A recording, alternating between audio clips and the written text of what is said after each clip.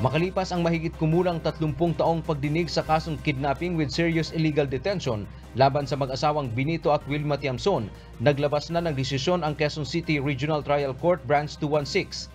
Guilty ang naging desisyon ng hukuman sa mag-asawa.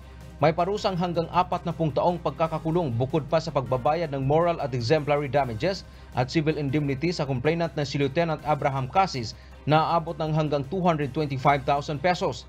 Nag-ugat ang kaso ng dukutin o mano ng mag-asawa at ng kanilang mga kasamahan ang apat na opisyal ng militar, kabilang si Lieutenant Abraham Casis noong 1988 sa Candelaria, Quezon at idinitine sa loob ng 75 araw.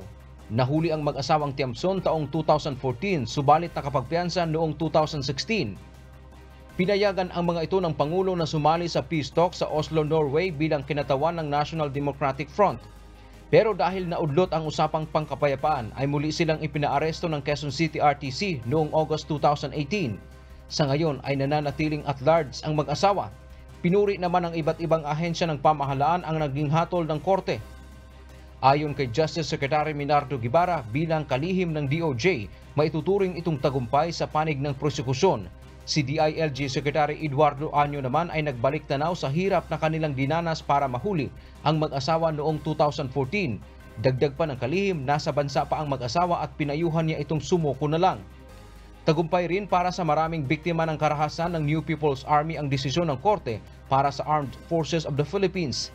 Ang pamunuan ng Philippine National Police ay sinabing patunay ito ng pagiging epesyente ng mga prosecutor at investigador ng bansa Itinuturing din ng Malacanang na tagumpay sa justice system ng bansa ang guilty verdict sa mag-asawang Tiamson. Ayon kay Presidential Spokesperson Harry Roque, iginagalang ng palasyo ang desisyon ng korte at bagaman matagal nang nangyari ang krimen, nakamit pa rin ang hustisya. Samantala ayon naman kay National Union of People's Lawyers President Attorney Edre Ulalia, ang nangyari ay isang political prosecution at nagsara ng pintuan para sa peace talks. Dante Amento, UNTV, News and Rescue. Diyos ang aming sandigan, serbisyo publiko ang aming pinahahalagahan.